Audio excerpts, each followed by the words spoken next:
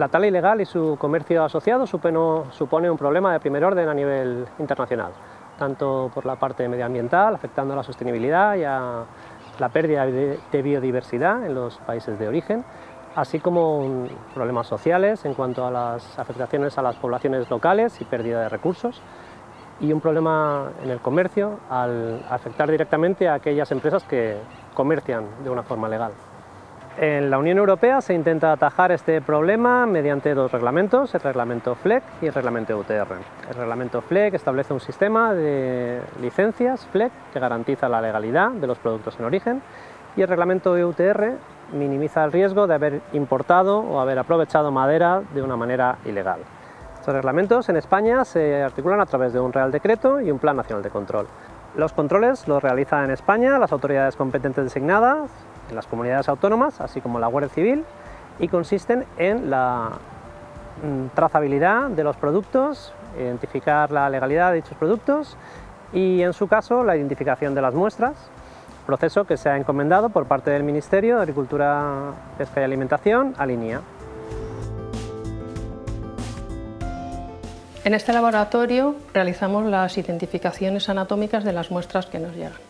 Para realizar la identificación anatómica, una vez que recibimos las muestras en el laboratorio, eh, debemos seguir una serie de pasos. En primer lugar, eh, debemos orientar la muestra eh, para reblandecerla y posteriormente poderla cortar en microtomo. A continuación se lleva a cabo la tinción y por último el montaje de la preparación. Las dimensiones de la muestra deben ser tales que permita obtener tres cubos de un centímetro cúbico para realizar los tres cortes, ya que cada uno de ellos nos da información de unos determinados caracteres anatómicos que posteriormente analizaremos en el microscopio. La identificación de chapas decorativas, en este sentido, resulta complicada porque solamente disponemos de uno de los planos de análisis. Esta siloteca que ustedes están aquí eh, viendo data de 1927, de la creación del Instituto Forestal de Investigaciones y Experiencias.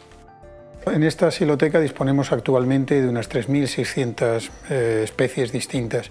Muestras tenemos del orden de unas 7.000.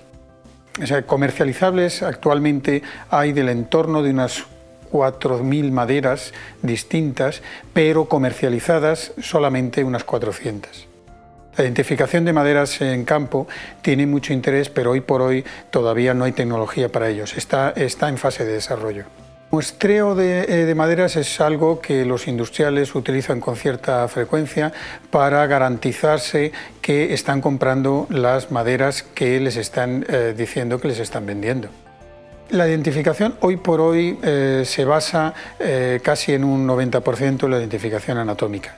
El problema de esta identificación es que solamente llega en muchos casos a nivel de género entonces se está complementando con técnicas de tipo químico eh, y también con técnicas de tipo genético.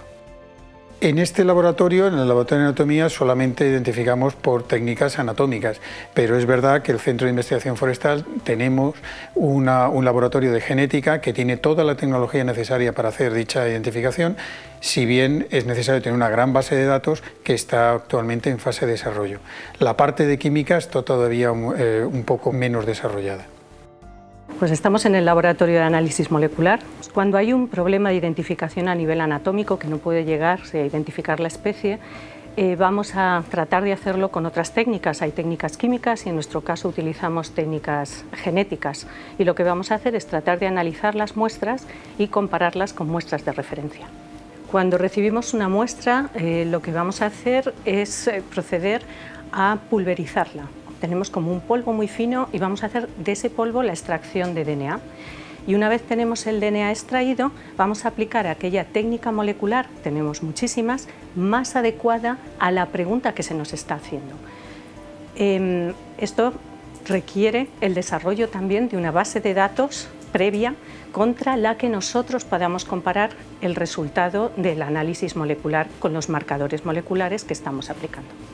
Nosotros eh, realmente desarrollamos dos tipos de análisis distintos. Por un lado, tenemos que desarrollar las herramientas genéticas si no existen. Si existen en otras especies que son próximas a las que queremos analizar, lo que vamos a tratar es de transferir esa información. Vamos a optimizar las tecnologías y una vez puestas a punto lo vamos a aplicar bien al análisis de las muestras eh, que tenemos, que, como digamos, eh, recogidas por el Ministerio o recogidas por cualquier institución, o analizar muestras que luego vamos a utilizar como muestras de referencia las bases de datos. En la actualidad eh, no podemos identificar todas las especies que se comercializan o que se van a comercializar en los próximos años. ¿Por qué? Pues tenemos que darnos cuenta que tenemos mucho problema. Ya no es un solo mero número, es que estamos hablando también de especies que no se distinguen botánicamente hasta, hasta el momento al menos. O también tenemos especies que no se comercializan, digamos, para el uso en maderas, pero que son próximas especies que sí se comercializan. Si estas especies que decimos que no se comercializan están en peligro de extinción, tenemos que ser capaces también de identificarlas, porque van a estar protegidas por legislaciones. Por lo tanto, este es un trabajo ímprobo. Necesitamos trabajar a nivel internacional para crear una base de datos de referencia y ser capaces de poder abordar este estudio de una forma coordinada y no duplicar esfuerzos entre países. La coordinación a nivel europeo es una necesidad, la coordinación a nivel mundial eh, es un requerimiento si queremos abordarlo a nivel global.